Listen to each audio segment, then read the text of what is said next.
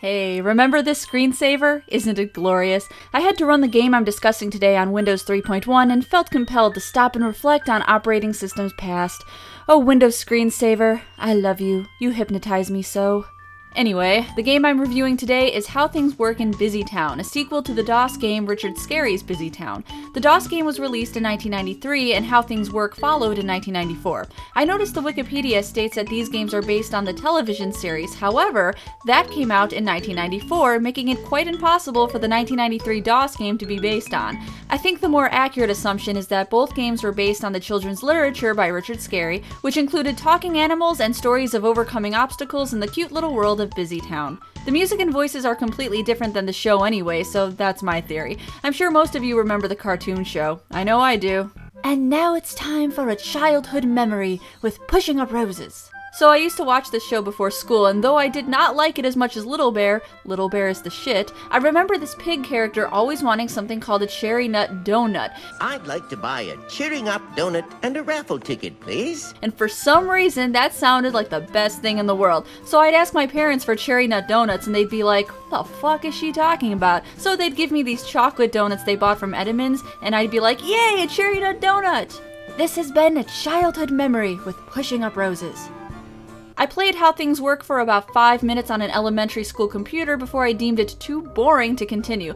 But recently I wanted to know why I found it so boring as a kid, and I longed for some nostalgia anyway, so I bought it on eBay and gave it a shot. And it turns out that Little Roses was right. This game is boring. Basically, you go around as Lowly Worm in your Applecopter, not to be confused with a Rafflecopter, to different places to help characters do things, in which they will show you how it works. Hence the title, How Things Work. You're greeted with a song that lasts forever. Busy town, friendly faces all around. Well, at least the baker likes it. It looks like he's giving devil horns and rocking out. You have several places you can visit the toy factory, the bakery, the garbage truck, the recycling factory, the farm, the mill, the assembly plant, road construction, and the news studio. The first place I went to is the farm because why not?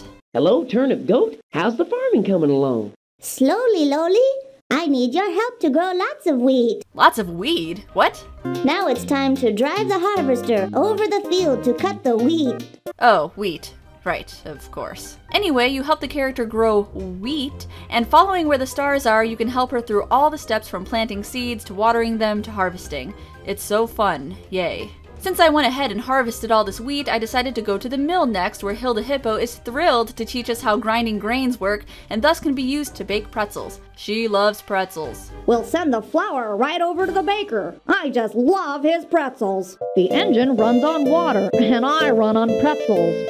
Nice white flour means nice crunchy pretzels for me. Are ladders and second stories not relevant on this screen? Because I can just run around anywhere without using the ladder. Weird. But convenient. Hmm. Once you're done at the mill, it's off to the bakery.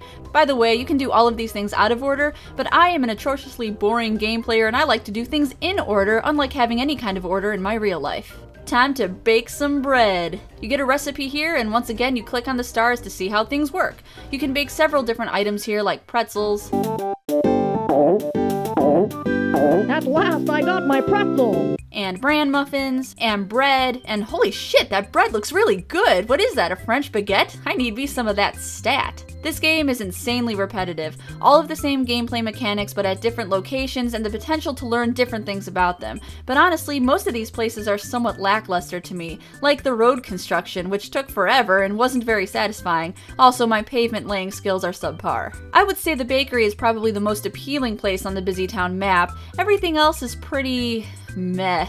Even the toy factory is boring, and I suspect most kids in the age group this game was intended for would choose the toy factory first, but all you do is create recycled toys by pushing buttons. Explain to me, game. Explain to me how this is an accurate depiction of toy making. We all know that toys are made by elves anyway, you aren't fooling anyone. I do like that the game features voice acting and cute little songs for each location, though. I was truly amazed when I heard video games with speech as a little girl, as I grew up on games with little to no sound, so a part of me still appreciates that about computer games from the mid 90s. So many things will improve once we all choose Jury Cycle. You, Satchmo. I was the most intrigued by the new studio because I thought maybe it was something that explains how editing or recording music and shows work, but nope, it's not really a news studio, it's just a place where you listen to the songs that are a part of the game's soundtrack and you have the opportunity to level and change the volume. Hmm, let's listen to the bread song.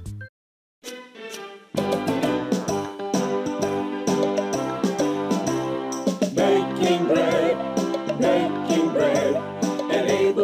Charlie's Bakery, baking bread. Okay, now everyone sing along.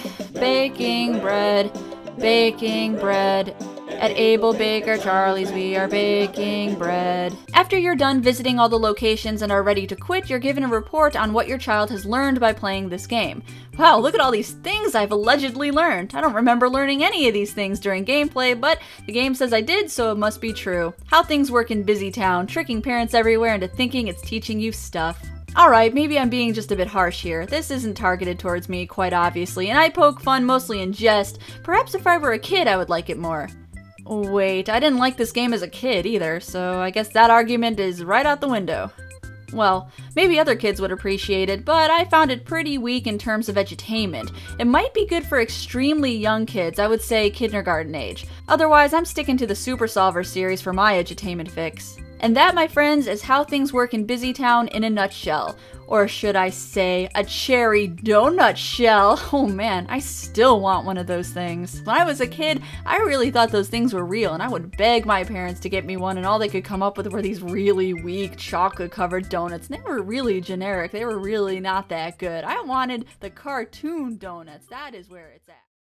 Hey everyone, thank you for watching my review on how things work in Busytown. I hope some of you found it nostalgic, and if not that, amusing at the very least. I have other edutainment reviews on my channel, and there's one on the screen if you want to see it. Or you could check out my social network sites, or even support me on Patreon if you're feeling sassy. Try not to get the baking bread song stuck in your head. Once it's there, it burrows deep in your brain and never comes out.